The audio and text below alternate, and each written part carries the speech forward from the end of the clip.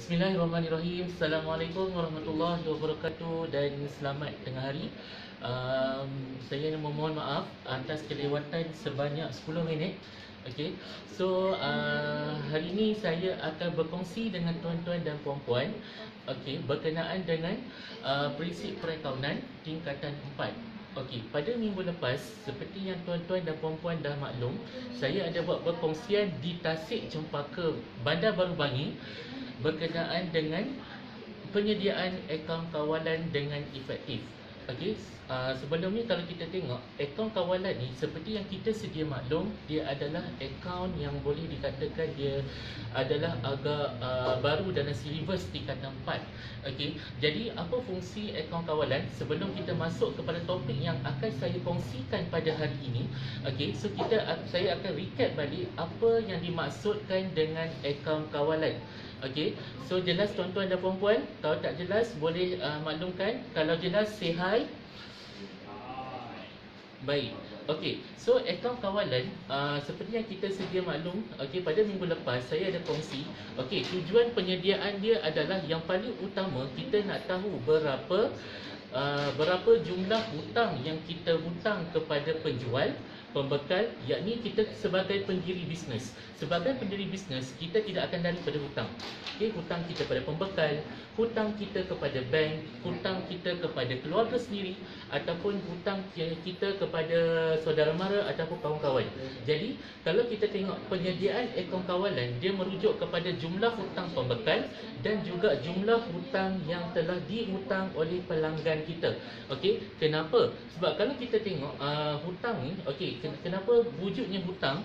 Okey kerana uh, perniagaan kita berkemungkinan menjalankan urus niaga secara kredit okey kalau tidak berhutang berkemungkinan uh, perniagaan kita menjalankan urus niaga secara tunai Okey, apa beza urus niaga kredit dan urus niaga tunai tuan-tuan dan puan-puan?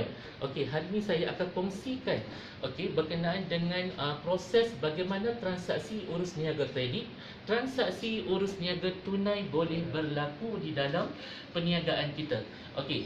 Baik, tuan-tuan dan puan-puan, sebenarnya kalau kita tengok, okey, prinsip ni sebenarnya dia adalah subjek subjek yang uh, elektif okey yang akan membantu pelajar untuk mengasah bakat untuk uh, menonjolkan bakat di dalam dunia perniagaan okey dunia perniagaan uh, merangkumi uh, pelbagai cabang ilmu kalau kita tengok okey jadi kalau kita tengok di sini salah satu dia adalah ilmu perakaunan okey jadi uh, hari ini saya nak kongsikan bagaimana cara untuk kita uh, um, melakukan transaksi urus niaga sama ada secara kredit ataupun secara tunai. Baik uh, sebagai pembeli ataupun sebagai penjual. Okey? Tuan-tuan dan puan-puan okey? Assalamualaikum. Selamat tengah hari semua. Okey? So jadi uh, Waalaikumsalam warahmatullahi Cikgu Isa. Okay. So hari ini uh, saya berkongsikan okay, bagaimana proses carta alir. Okay, jadi dikatakan uh, carta alir carta alir untuk proses dokumentasi perniagaan.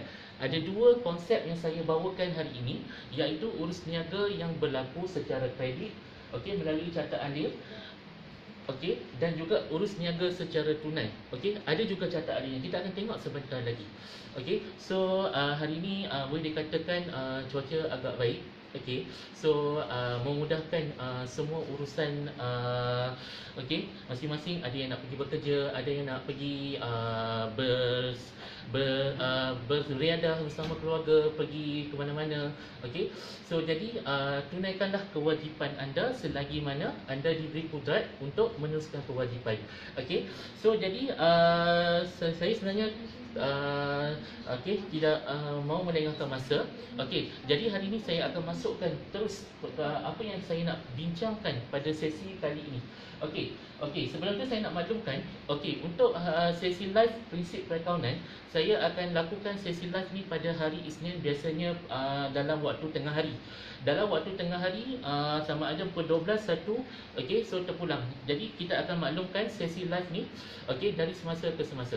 Okey. So jadi hari ini kita akan tengok bagaimana okey proses transaksi proses dokumentasi perniagaan berlaku. Okey kita ada dua sebenarnya. Urus niaga kredit dan juga urus niaga tunai. Kat sini tunai. Jadi kat sini kredit.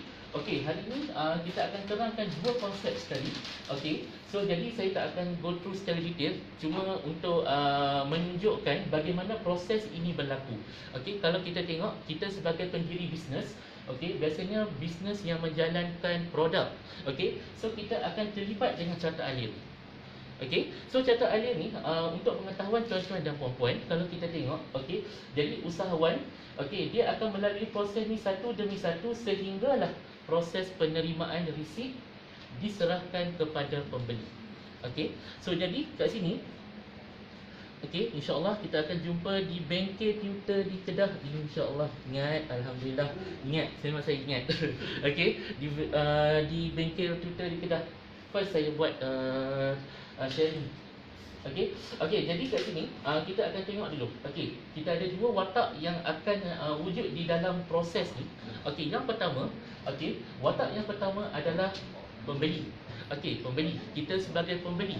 Okey. So, kalau kita tengok statistik rakyat Malaysia, okey, pada masa sekarang, okey, peratus uh, rakyat Malaysia yang suka uh, pergi shopping, suka membeli belas sama ada membeli belas secara fizikal ataupun secara online, okey, meningkat secara mendadak. Okey, kalau kita tengok.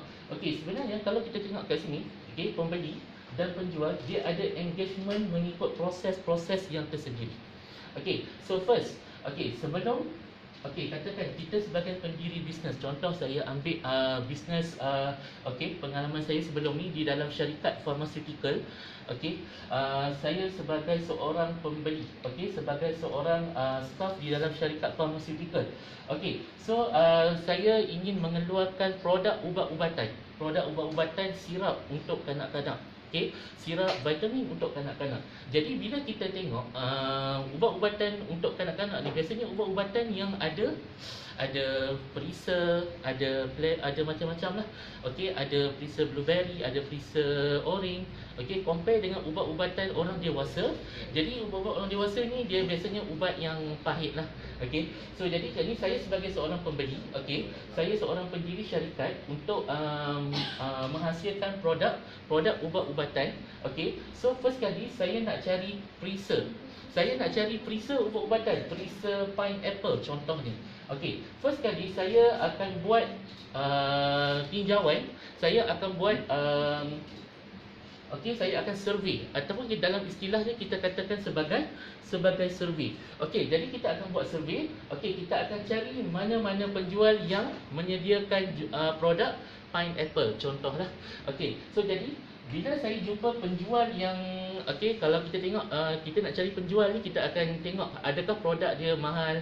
Selalu kalau kita pergi contohnya kalau kita nak beli komputer kita akan pergi banyak kedai betul? Betul tuan-tuan dan puan-puan kita akan pergi kedai yang banyak So kedai yang banyak dan kita akan compare harga-harga harga okey yang ada ditawarkan. Contoh nak beli komputer lah. Okey. So bila uh, kita dah cari harga yang sesuai, spek yang berkualiti dan juga menepati cita rasa, barulah kita akan beli produk tu tuan-tuan dan puan-puan. Okey, baik. So berbalik ke sini, tadi saya nak beli freezer pineapple. Okey, saya terus cari penjual. Katakan saya jumpa penjual A. Penjual daripada syarikat A di Pulau Pinang contohnya. Okey, sebelum saya membuat engagement ataupun uh, saya uh, deal dengan penjual ni, okey, first kali apa yang kita akan buat? Okey, so saya akan uh, apa saya akan uh, buat surat tanya. Okey, surat tanya ni macam mana tuan-tuan dan puan-puan? Surat tanya ni adalah proses pertanyaan. Okey, kalau kita tengok dalam uh, perkahwinan pun, okey, sebelum kita nak sunting gadis idaman kita, okey, so jadi kita akan risik dulu. Tuan-tuan dan puan-puan, kita akan jumpa parent dia, kita akan risik, kita akan tanya adakah dia berpunya atau tak berpunya. Sama juga prosesnya. Okey, tuan-tuan dan puan-puan, sama juga prosesnya. Jadi surat tanya maksudnya kita akan tanya dari segi produk. Okey, katakan saya nak beli 10 tan contoh. Okey, berapa harga yang tuan uh, tawarkan? Okey, berapa harga uh, diskaun yang tuan tawarkan? Andai kata saya sebagai pembeli berpuas hati, okey, saya akan emailkan berapa jumlah yang uh, uh, bila bila uh, saya email, saya akan nyatakan saya nak produk sekian sekian sekian. Okey, produk pineapple tadi lah. Okey, kalau saya tak email, saya akan telefon. Okey, biasanya untuk menunjukkan profesionalisme seorang staff di dalam syarikat, okey, biasanya staff dia akan buat dua benda sekaligus. Email ataupun telefon. Telefon dan juga dia akan email kepada penjual tadi.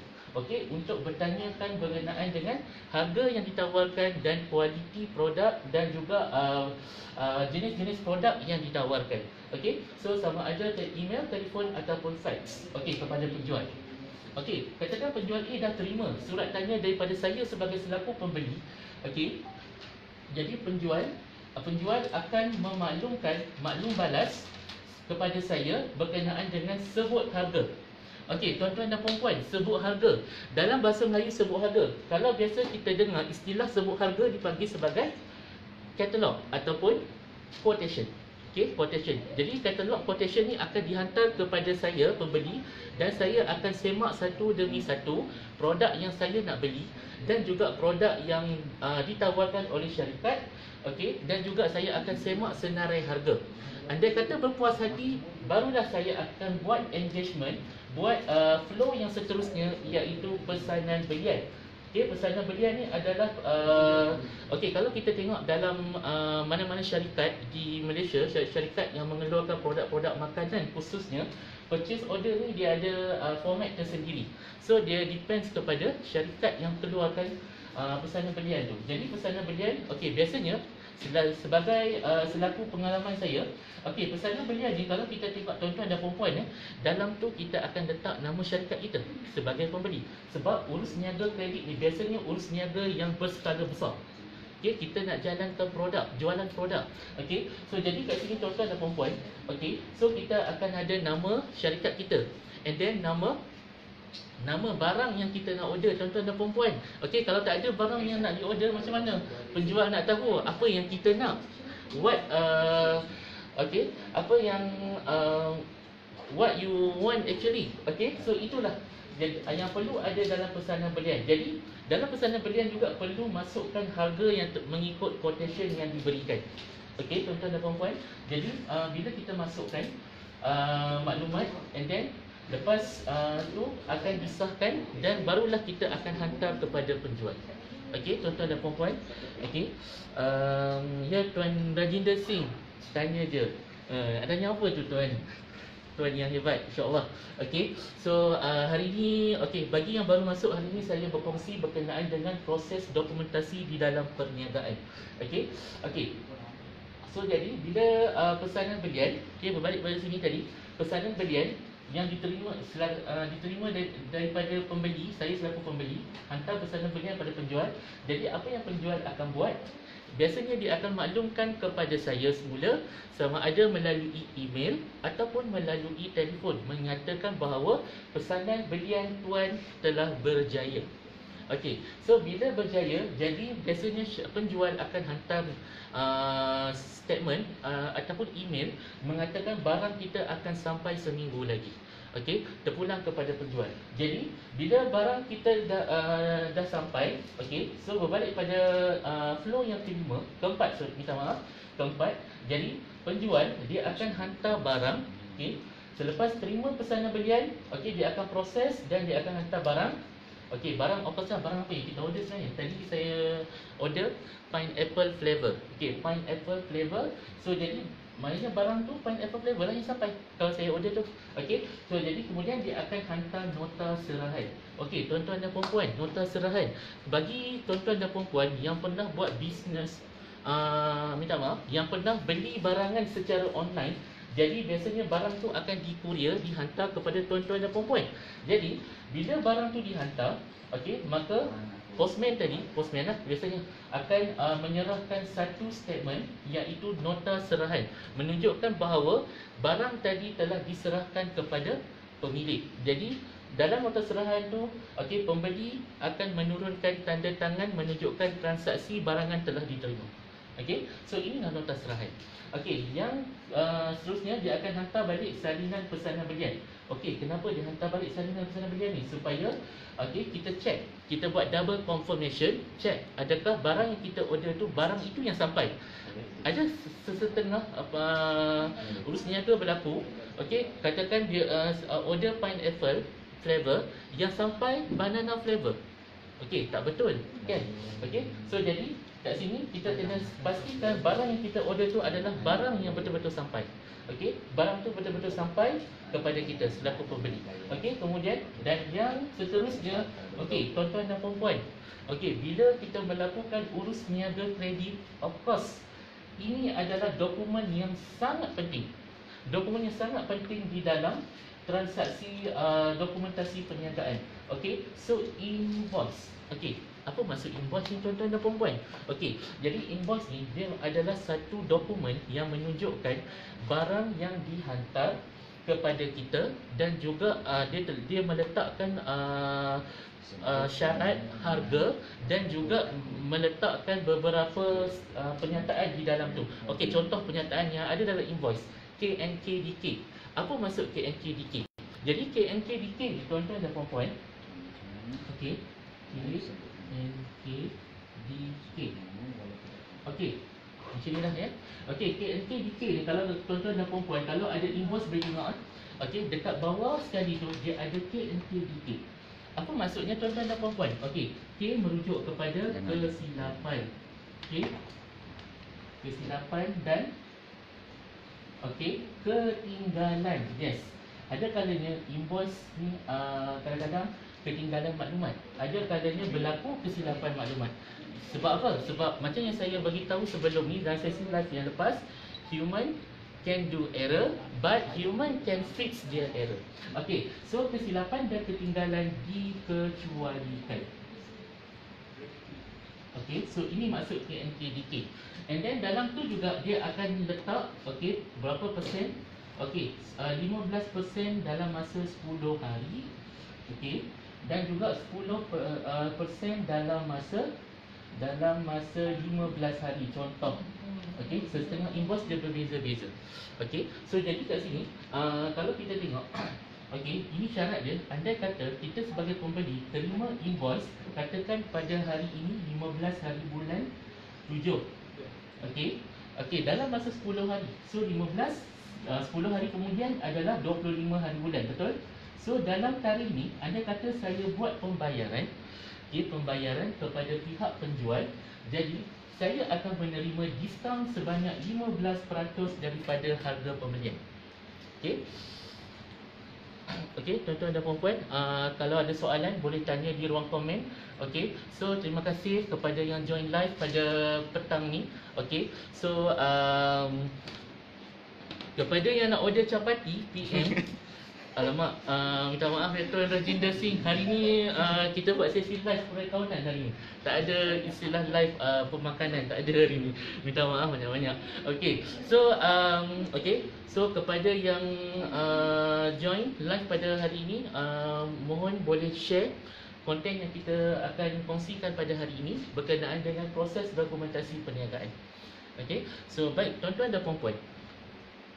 Okey. Jadi kalau kita tengok di sini, berbalik pada invoice tadi, okey, anda kata dalam masa daripada tarikh 15 hari bulan 7 saya terima invoice, okey, sehinggalah 25 hari bulan 7.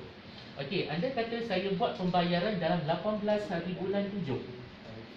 Contohnya, okey, adakah saya layak menerima diskaun 15%? Okey, adakah layak? Ya. Okey, kerana saya buat pembayaran dalam tempoh 10 hari. Okey, anda kata daripada 15 25 hari, 25 hari bulan adalah 10 hari. Anda kata saya tak sempat nak buat pembayaran dalam tempoh 10 hari.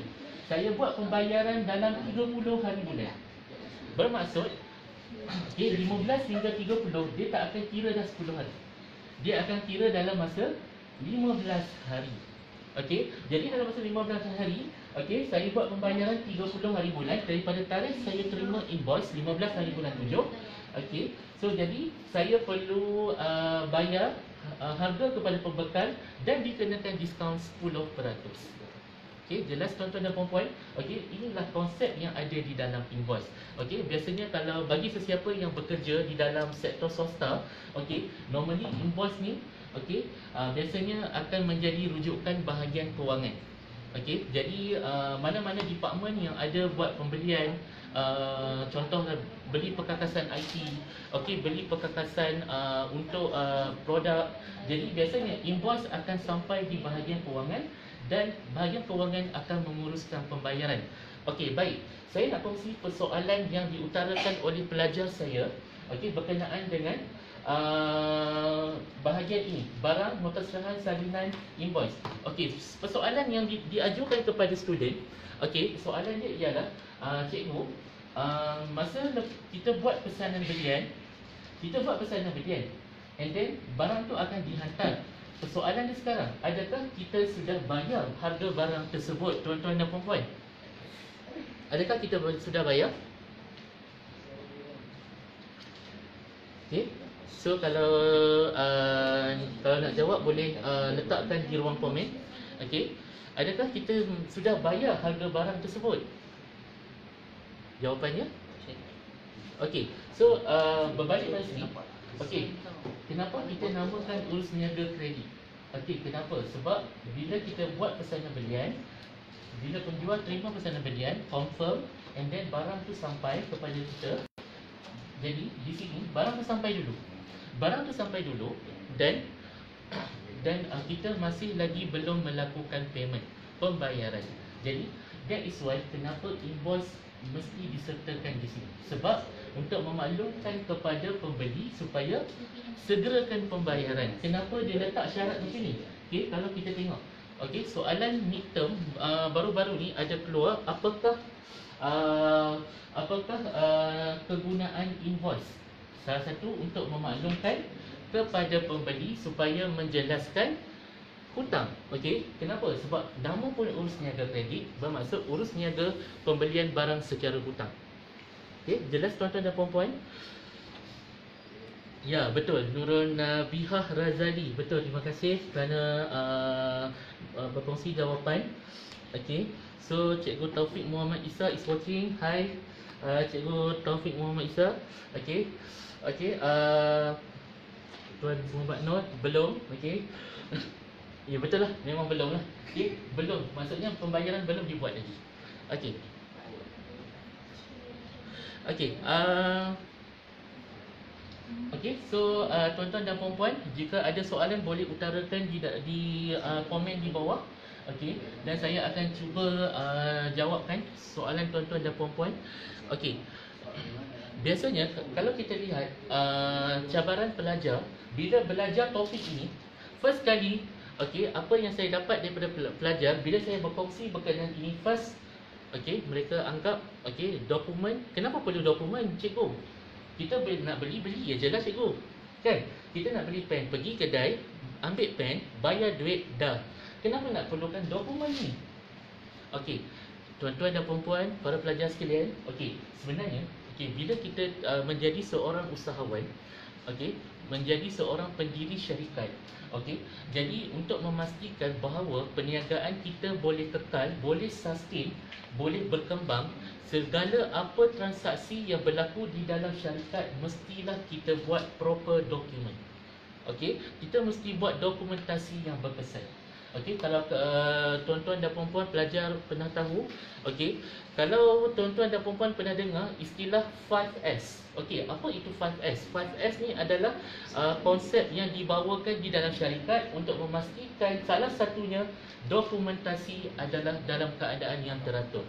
Okey, kalau tidak, kalau uh, tuan-tuan dan puan-puan, okey, para pelajar, seorang usahawan tidak melakukan dokumentasi transaksi dengan betul, maka salah satu kesan dia adalah boleh menyebabkan berlakunya kebocoran cash flow. Okey, cash flow aliran tunai. Okey, kita buat bisnes, kita jual beli, jual beli, jual beli, dapat duit. Okey, jual beli, jual beli, dapat duit. Kita tengok dalam akaun banyak. Wow, banyak. 500,000. Wow. Okey, setiap bulan 200,000 jualan.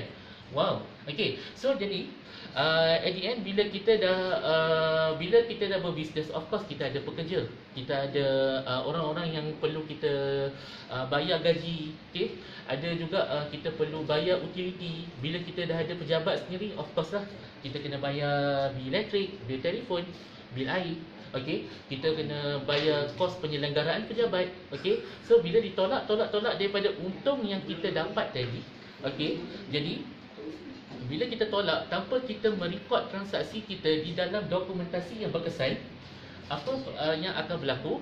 Jadi tengok-tengok, eh dah tinggal sikit. Mana pergi duit tadi? Duit untung tadi dah pergi mana? Kan? Okey. So tengok-tengok dah sikit. Okey. So terkejut beruk lah jawab dia. Kan? Okey. So bila uh, sedikit Okey, kena check balik. Okey, cash flow. That is why kenapa kita kena ada aliran dokumentasi perniagaan. Itu salah satu sebab dia. Okey.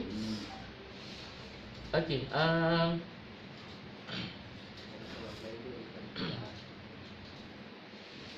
Okey, tuan-tuan dan puan-puan, uh, jika ada soalan boleh utarakan di dalam ni. Okey, sebelum kita tengok kepada uh, uh, proses yang seterusnya, saya akan terangkan sekejap lagi. Okey. Okey. Itu cabaran yang pertama yang dihadapi oleh pelajar tadi. Kedua, okey, pelajar kurang faham okey dan juga kurang pasti. Okey, dokumen ni okey, bila mereka masuk ke topik contoh ledger. Ledger, buku catatan pertama. Okey, pertama sekali, okey, kita kena tahu dulu maksud dokumentasi yang terlibat di dalam aliran. Okey, kalau kita tengok dalam kitaran perakaunan tuan-tuan dan puan-puan eh,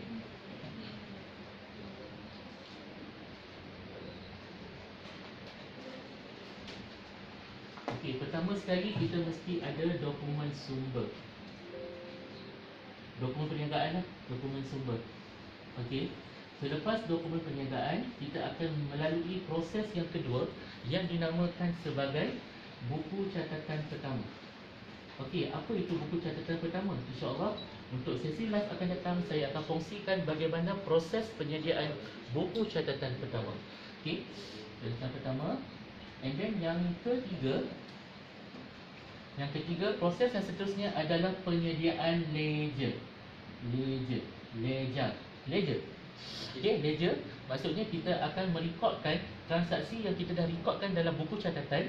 Kita akan masukkan ledger ke dalam ledger mengikut sistem catatan bergu. Okey, apa itu sistem catatan bergu tuan-tuan dan puan-puan? Okey, sistem catatan bergu okey inilah sistem yang diamalkan di dalam ledger. Okey apa itu sistem catatan bergu insyaallah saya akan kongsikan dari semasa ke semasa. Okey ledger kemudian barulah proses penyediaan imbangan juga okey imbangan juga okey selepas imbangan juga kita akan melakukan proses yang dipanggil sebagai proses uh, yang pelarasan. Okey pelarasan Okey, eh, sebut sedikit je saya nak sentuh berkenaan dengan kitaran perakaunan pelarasan. Seterusnya adalah imbangan juga. Maksudnya selepas pembetulan, okey, pelarasan ni sebenarnya adalah konsep pembetulan di dalam perakaunan. Okey, so jadi kita akan sediakan imbangan juga selepas uh, pelarasan. Selepas pelarasan dan akhirnya kita akan sediakan okey, ini adalah dokumen yang sangat penting yang akan digunakan untuk tujuan uh, audit okey tujuan uh, pembayaran cukai iaitu penyata kewangan. Penyata kewangan okey dan akhirnya penyata kewangan ni biasanya di uh, selaku pendiri syarikat kita akan keluarkan penyata kewangan setahun sekali. Okey and then proses yang terakhir adalah proses penutupan dan proses ni akan bermula apabila kita menerima dokumen perniagaan. Proses ni akan berlaku selagi mana perniagaan kita wujud. Baik, tuan-tuan dan puan-puan, jelas di sini. Okey. Okey, baik. Okey, so saya teruskan. Okey, selepas barang di dihantar kepada saya selaku pembeli, okey, nota serahan, salinan invoice, okey. Kemudian Seterusnya, pihak penjual Andai kata berlaku sebarang kompilasi di sini Tuan-tuan dan perempuan ya. Okay. Jadi, pihak penjual akan menghantar nota debit dan juga nota kredit. Okey, apa maksud nota debit dan nota kredit tuan-tuan? Bukan nota sains ya tuan-tuan dan perempuan Nota debit, nota kredit. Okey, pernah dengar debit, kredit Debit seperti yang kita faham Debit dalam perakaunan merujuk kepada masuk okey? Maksudnya apa yang masuk ke dalam transaksi syarikat kita. Nota kredit bermaksud apa yang kita keluar. Baik uh, bagi sesiapa yang belajar perbankan Okey, yang belajar perbankan dia akan belajar konsep ni terbalik.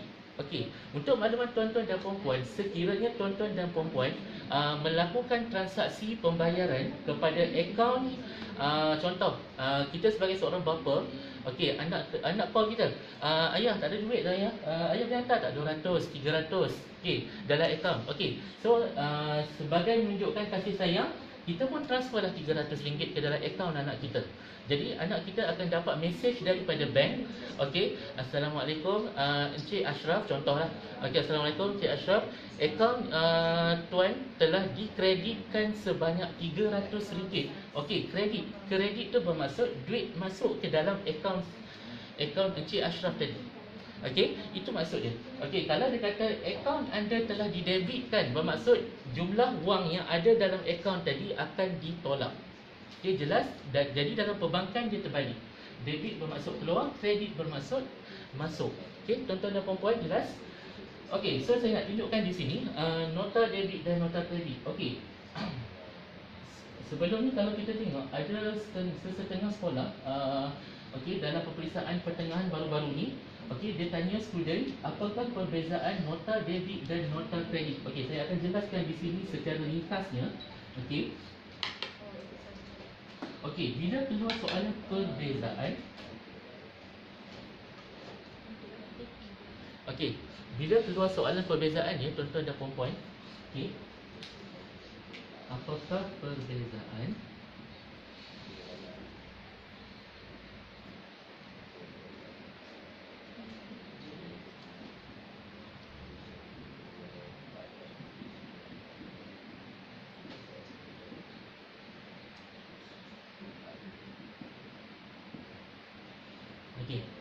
So ini soalan dia. Okey. Uh, berapa markah saya tak pasti Mungkin dalam 3 atau 2 markah lah Okey. Bila uh, soalan tanya perbezaan. Okey. So uh, Apa tips yang saya nak kongsikan hari ni? Okey. So uh, Pelajar perlu ingat dulu Apakah maksud nota debit Apakah maksud nota kredit? Salah satunya. Kalau ingat salah satu pun dah cukup lah Okey. So biasanya perbezaan kita akan buat jadual lah Sebab kita akan nampak perbezaan tu dengan lebih ketara Okey, so ni nota. Nota debit Okey, nota kredit Okey, so uh, Perbezaan yang pertama Kalau kita kalau kita faham nota debit Okey, nota debit ni menunjukkan menunjukkan bahawa Okey, anda kata Kalau kita beli barang Okey, beli barang Dalam invoice nyatakan RM Harga barang tu adalah RM2,000 Okey, tapi sebenarnya hakikatnya harga dalam sebut harga okey sebut harga ataupun katalog adalah RM 2500. Okey, jadi pihak penjual bila dia dapat detect uh, masalah ni first kali dia akan hantar nota debit. Okey, untuk memaklumkan bahawa okey untuk memaklumkan bahawa akaun akaun uh, didebitkan. Akaun didebitkan okey untuk uh, untuk menampung kekurangan yang ada di dalam invoice okey okey bila invoice kurang bila sebut harga harga lain maksudnya berlaku pengurangan di sini. Jadi menunjukkan bahawa akaun didebitkan untuk untuk uh, menambah jumlah invoice. Okey so ini maksudnya jumlah tak cukup kan? Jumlah invoice. Okey. Yang kedua, apa lagi tujuan nota debit dikeluarkan? Okey. Kemudian uh, kita tengok yang kedua adalah untuk memaklumkan bahawa catatan tertinggal. Okey, catatan ni biasanya barang lah. Kan? Kita order pineapple flavor tadi. Dalam masa yang sama kita order black uh, blueberry uh, blueberry uh, flavor. Okey, tapi dalam invoice dia hanya catatkan okey pineapple flavor saja. Jadi ini yang bermaksud catatan tertinggal. Jadi uh, pihak penjual akan menghantar menghantar nota nota debit. Okey untuk memaklumkan kepada kita bahawa okey uh, kita uh, perlu tambah pembayaran lagi. Okey. Okey, kemudian yang ketiga, okey yang ni yang paling ketara lah biasalah. Okay, manusia pun akan buat kesilapan yang ni iaitu salah pengiraan. Okey, dalam invoice mention 2000. Okey. Tapi uh, sebenarnya hakikatnya harga sebenar yang perlu dibayar adalah 3000. Okey, jadi uh, maksudnya uh, kekurangan 1000 lagi. Jadi bila kurang 1000, maka pihak penjual akan hantar nota debit. Okey, jelas tuan-tuan dan puan-puan? Baik, ada soalan? Okey. So ini uh, uh, maksud yang ada dalam nota debit. Okey. Dan juga kita akan kenakan faedah. Okey. Faedah andai kata kita lewat membuat pembayaran. Wah. Dah macam bank eh. Okay, ada setengah penjual dia mengenakan syarat andai kata lewat pembayaran maka kita akan charge sebanyak 2%. Contohlah 3%. Okey. Ini kita panggil sebagai faedah. Faedah atas kelewatan pembayaran barangan yang di di uh, dipesan sebentar tadi.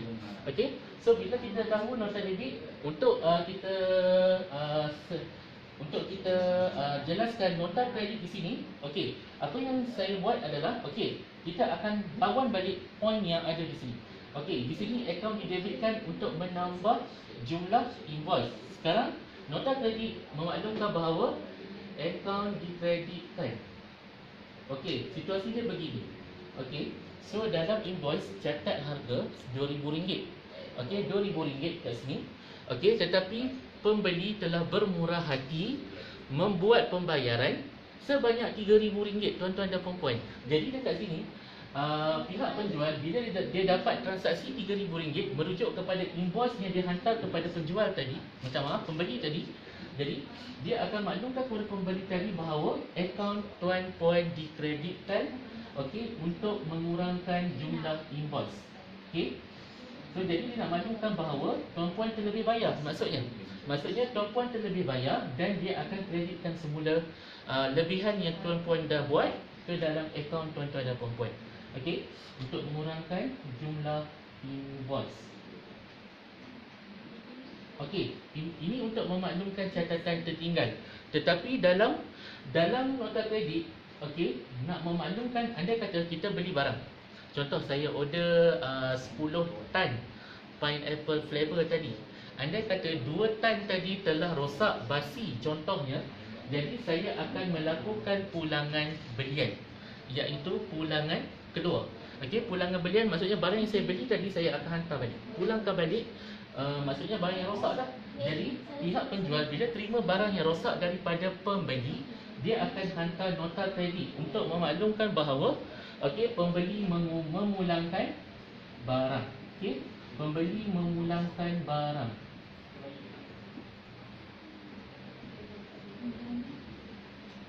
Okey, so Nota debit tadi untuk memaklumkan catatan yang tertinggal dalam invoice and then nota kredit untuk memaklumkan pem, uh, kepada pembeli bahawa pembeli memulangkan barang dan dalam masa yang sama dia akan mengurangkan hutang pembeli kepada penjual. Okey. Dan yang ketiga tadi salah pengiraan bagi nota debit. Okey. Kalau uh, nota kredit Okey, nota kredit maksudnya kat sini dia nak memaklumkan bahawa jumlah invoice terlebih. Okey, anda kata berlaku lebihan dalam invoice macam tadi situasi harga dalam invoice 2000.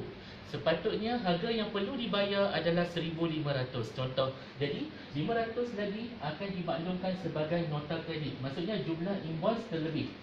Okey, tadi kalau kita tengok nota debit salah pengiraan. Okey, terkurang pengiraan jadi kita kena hantar nota debit untuk minta lagi bayaran kepada pembeli.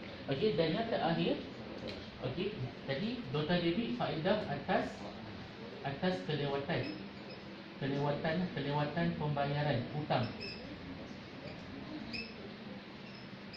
Okey, yang seterusnya uh, nota uh, kredit okey untuk memaklumkan bahawa anda kata uh, kita selalu berurusan dengan penjual yang sama berkemungkinan penjual tadi bermurah hati untuk memberikan uh, memberikan sebarang imbuhan ataupun kita panggil sebagai commission.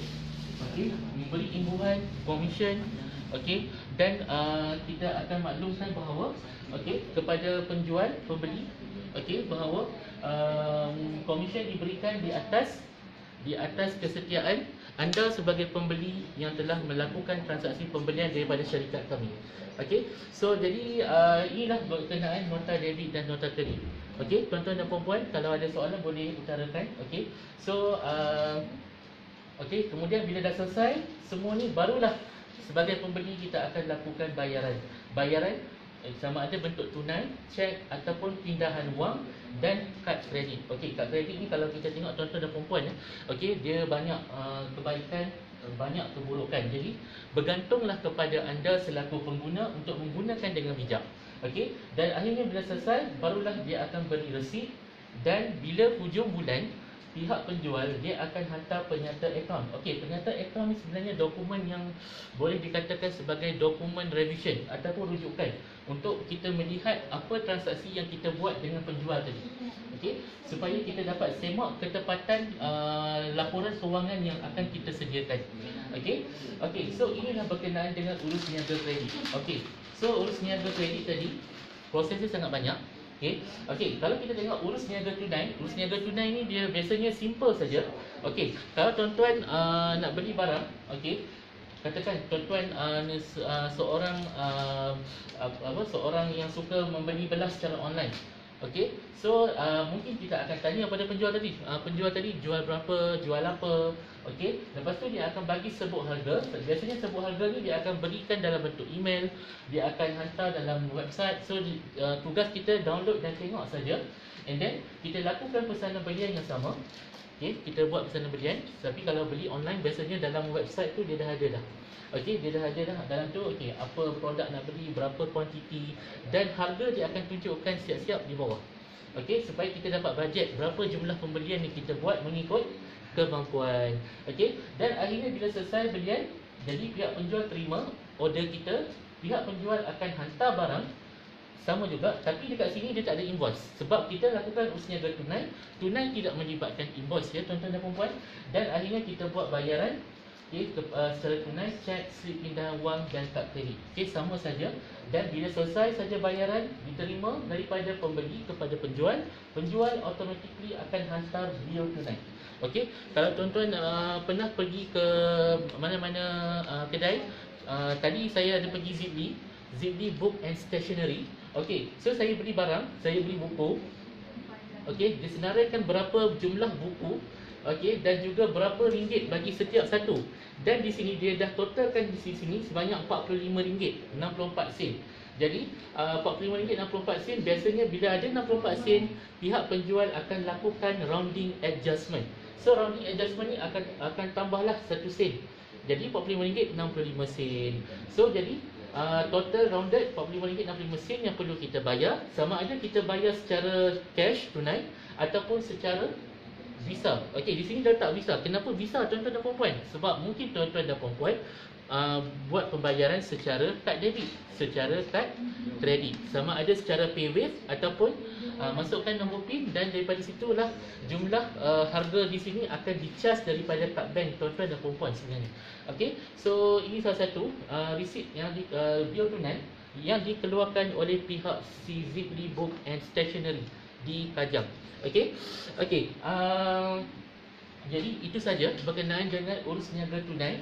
Okey, sebarang persoalan boleh uh, kongsikan di bawah dan juga boleh share jika uh, uh, anda kata uh, bermanfaat. Okey, jadi kongsikan kepada rakan-rakan, kongsikan kepada semua sama ada pelajar-pelajar anda, anak-anak anda, okey supaya mereka dapat uh, banyak input daripada apa yang saya kongsikan pada hari ini. Jadi uh, sebarang persoalan boleh utarakan di bawah insya-Allah. Dan jadi uh, saya, untuk kali ini okey saya tutup sesi kita okey dalam proses dokumentasi okey kita kita perlu tahu okey apa yang kita beli apa yang kita berapa yang kita hutang that is why kenapa kena ada proses dokumentasi. Okey itu penting. Okey menjawab persoalan pelajar tadi. Okay, kenapa perlu ada semua ni? Padahal kita beli just touch and go, come and back. Itu saja. Okay, tapi uh, insyaAllah, okay, um, jadi inilah yang berlaku sebenarnya dalam kehidupan kita. Okay, biasa, biasanya kita akan buat usaha tunai lah. Okey. Okey, jadi kat sini saya akhiri uh, uh, sesi live kita, sesi kita pada hari ini insya-Allah dan uh, kita akan jumpa lagi uh, di sesi live yang akan datang okey pada hari Isnin dan uh, pada waktu tengah hari biasanya. Okey, tengah hari dan saya akan berkongsikan tajuk-tajuk yang agak relevan dan uh, agak uh, men- menjadi menjadi perbualan di kalangan pelajar-pelajar okey supaya mereka dapat kuasai mata pelajaran prinsip perakaunan dengan baik.